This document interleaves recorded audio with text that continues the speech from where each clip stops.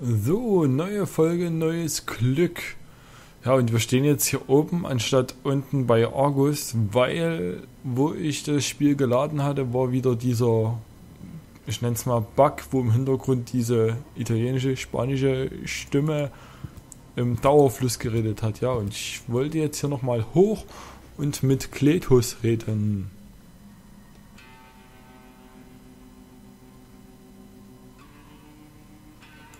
Die Organons erzählten etwas von einer Backup-Datasette. Das hat dich nicht zu interessieren. Du bringst mir Goal und ich nehme dich mit nach Elysium. Mehr haben wir nicht vereinbart. Wir schreiben uns also nicht gegenseitig was in unsere Poesiealben. Oh. Nein, Oh. ich brauche die Backup-Datasette. Da muss ich dich enttäuschen. Die hilft nicht gegen mangelnde Hirnkapazität. Ich brauche sie trotzdem. Und wozu, wenn ich fragen darf? Ähm. Die gibt bestimmt einen stylischen Untersetzer aus. Natürlich. ist bewusstlos. Was hast du getan? Ist ihr Implantat beschädigt? Keine Sorge, es geht ihr gut. Ja, okay, super. Aber das Implantat, ist das Implantat noch intakt? Ich, ich glaube schon. Was heißt das, du glaubst? Ohne Golds Implantat werde ich Deponia nie verlassen können. Dann gib mir diese verdammte Datasette, damit ich sie endlich aufwecken kann. Ja, okay, fein.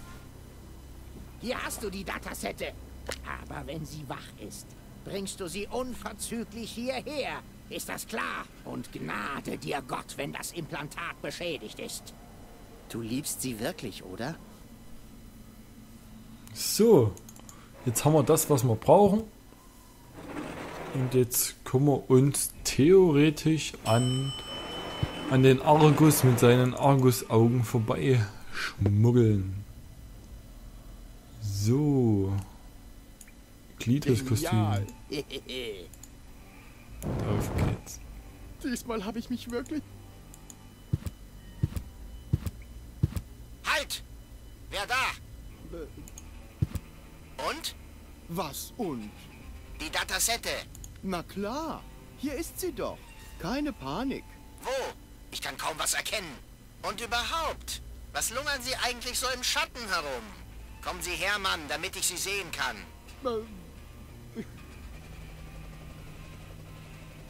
Aber, aber, Amtmann, seien Sie doch bitte etwas höflicher. Sie vergessen, dass wir alle für dasselbe Ziel arbeiten.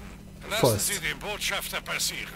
Je schneller er diesen Rufus und damit die Aufstiegscodes gefunden hat, umso schneller können wir mit unserer Mission fortfahren. Jawohl, Sir.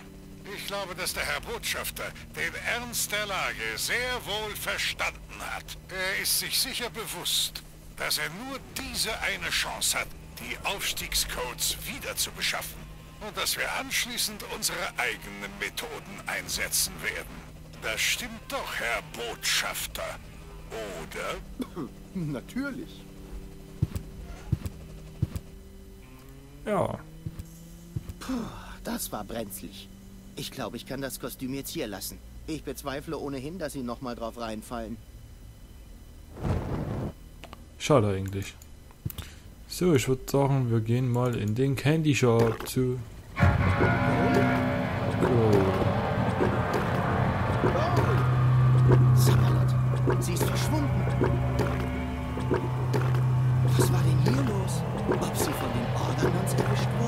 Nee. Unsinn, das kann nicht sein. Das hätten sie erwähnt. Aber wer sollte sie sonst verschleppt haben? Ich muss sie unbedingt finden. Und das, bevor dieser Argus es tut. Vielleicht finde ich irgendwelche Spuren. Ist die Phosphorlache, die ist ja kaum zu übersehen. Äh, mal mit der Taschenlampe drauf halten. Das hat ja bei unserer Zuckerwatte auch geholfen. Spur. Goal wurde offenbar in Richtung Ausgang geschleift. Keine Angst, Schätzchen. Rufus eilt zur Rettung. Aber erstmal habe ich noch was anderes vor. Ich will mal noch die Sardelle in Phosphor tauchen. Geht das? Das geht? Ah, jetzt haben wir den Köder. Den Phosphor, du mal anleuchten.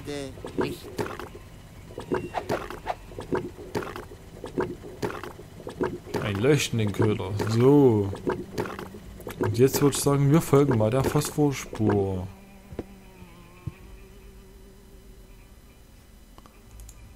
Taschenlampeneinsatz. Yeah!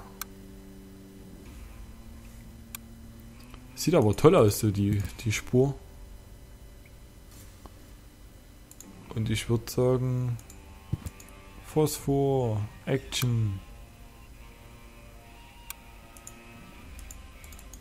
Jetzt geht's wieder to the tower. So. Und natürlich wieder auf die Phosphorspur halten.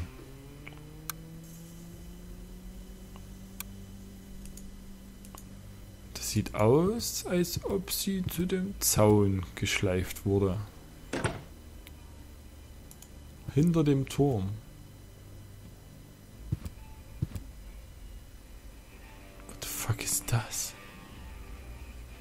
Erstmal die Phosphorspur weiter erleuchten.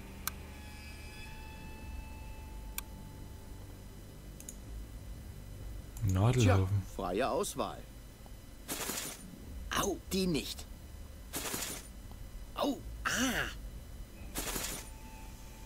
Ha, die hier hat Respekt vor mir. Die nehme ich. Hey, das ist gar keine Nadel. Ich habe buchstäblich den Strohhalm im Nadelhaufen gefunden. Wer kann das schon von sich behaupten? Die, die die Nadel im Heuhaufen gefunden, äh, gesucht haben. Phosphorspur, Gitter. Ein Monster muss Goal verschleppt haben. Kein normaler Mensch bekäme das mit bloßen Händen auf. Ähm, kann ich hier mit, mit Dingens rein? In den Kabelschacht. Mein Gott. Hier ist ein Müllberg. Ich muss zwar durch, aber aufräumen? Hm, das muss anders gehen. Haben wir hier einen Haken? Das ist ein Avialflansch. Uh, Boah, ein echter Wal. Ich habe mir immer gewünscht, dass Dad mal mit mir ins Aquarium geht. Aber er hatte recht. Der Platz reichte nur für mich. Hm, der Wal sieht hungrig aus. und wir haben einen leuchtenden Köder dabei. Rom, Fischi, Fischi. Hier bin ich, hinter dem gesprungenen Fenster. Dummes Viech. Aber wir können weitergehen, Rufus. Das ist doch das, was wir wollten. Na los. Oh, Let's get rid of the key. nervig. Rid of the key. Let's get rid of the key. Let's get rid of the key. Let's get rid of the key. Zugesperrt. Kein Vertrauen. Let's get rid of the key. Hier geht's wieder. Let's get rid of the key. Boah, ist schon ein bisschen nervig. Wir gehen mal in den Kutter. Let's get rid of the key.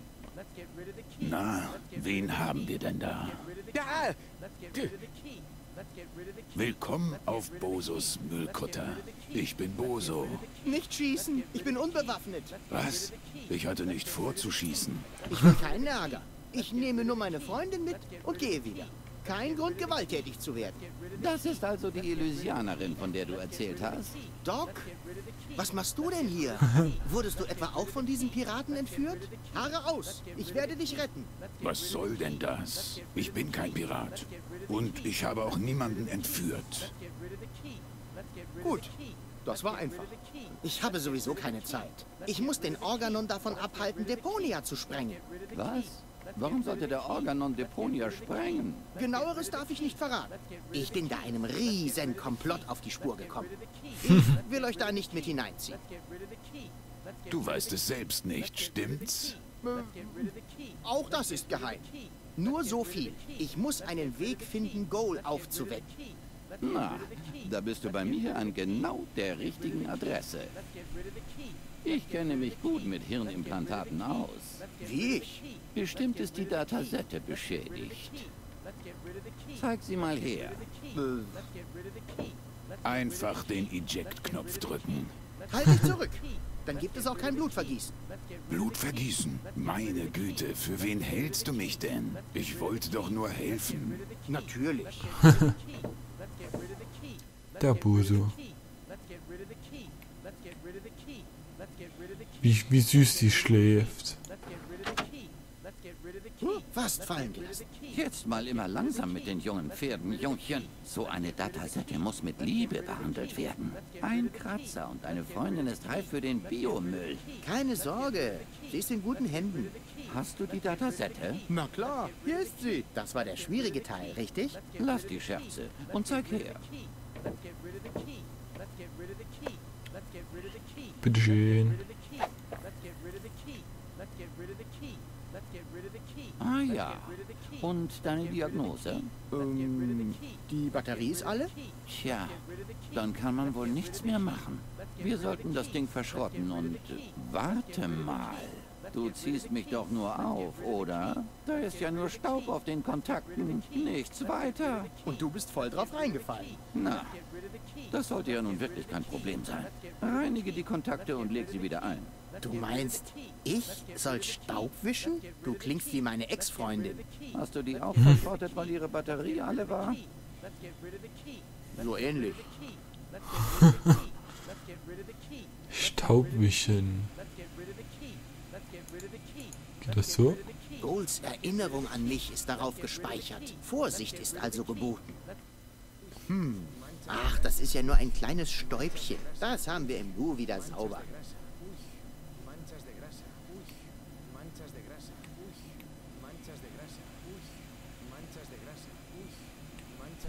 Lesekopf sauber. Chip sauber.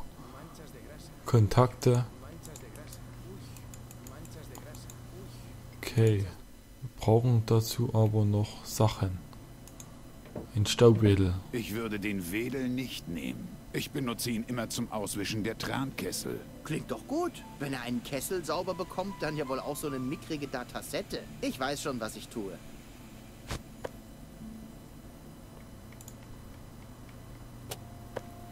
Hey, du hast meinen Schlüssel gestohlen. Und du hast meine Freundin gekidnappt. Aber das war doch nur ein Missverständnis. ich kann sie ja gerne wieder nach draußen in die Kälte legen, wenn dir das lieber ist. Und wie willst du das anstellen, so ganz ohne Schlüssel? Kein Problem. Meine Tür ist immer offen. Dann wunder dich auch nicht, dass dir ständig Sachen geklaut werden. Ohne Worte, na. Ohne Worte. Der Rufus. So, und ich denke mal. Oh, jetzt hat das Gedings übrigens ein Ende. Mit, der, mit dem Schlüssel kriegen wir bestimmt die Truhe auf. Haha. Offen. Der Schlüssel kann weg.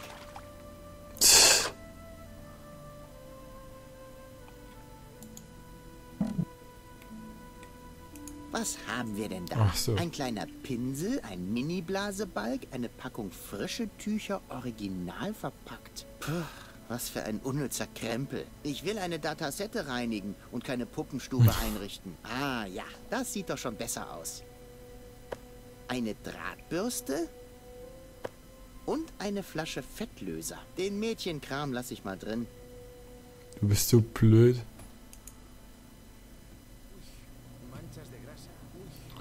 Ähm, wir wählen das erstmal ab. Der Wedel hat alles vollgestaubt. Und, ähm, oh je, Fettfleck. Da muss ich wohl noch mal... Staubig, staubig, fettig. Und wieder Staub. Was denn? Staubig, fettig, staubig. Äh, fettlose. Nicht gut. Was für ein... Was für ein... Die Drahtbürste auf Golds Bewusstseinschip? Nur im absoluten Notfall. Okay. Nur im absoluten Notfall. Nee, ist Für eine okay. Sauerei! Was denn? Noch mehr Fussel? Oh je, hier geht gar nicht gut, dass ich noch einen Joker im Ärmel habe. Nein, die Datasette ist schon schmutzig genug. Zeit für die harten Geschosse. Nein. Die da hat Zeit.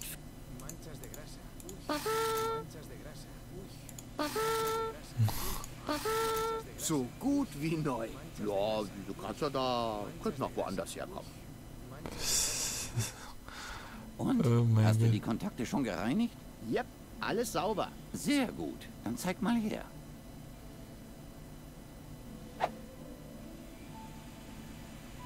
Moment mal. Waren da vorher auch schon diese Kratzer drin? Was? Ach die, die sind mir vorhin schon aufgefallen. Unglaublich, wie die jungen Dinger heute mit ihren Gehirnimplantaten umgehen. Ja, und ohne sie aus dem Laufwerk zu nehmen. Wirklich unglaublich. naja, so ein paar Kratzer. So gravierend sind die nun auch wieder nicht. Apropos gravierend. Hat da jemand seinen Namen und ein Herzchen eingeritzt? Äh, gib mal lieber wieder her. Das wird schon passen, oder? Hä? Muss ja?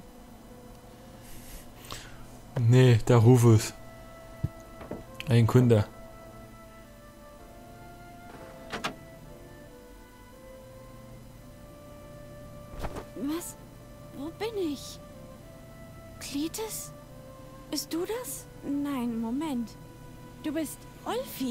Rufus. Ich erkenne dich. Ich war in einem Saal und dann in einem Krankenzimmer. Und da waren noch andere Leute. Deponianer. Es ist also wahr. Deponia ist bewohnt. Der Organon hat uns belogen. Ich muss Klites kontaktieren. Tja, das ist fast eine gute Idee. Leider nur fast. Dein sauberer Verlobter macht gemeinsame Sache mit dem Organon. Klites macht was? Oh, mein Kopf. Vielleicht setzt du dich erst einmal hin. Ich sitze doch schon. Keine Sorge, Baby. Ich erkläre dir alles.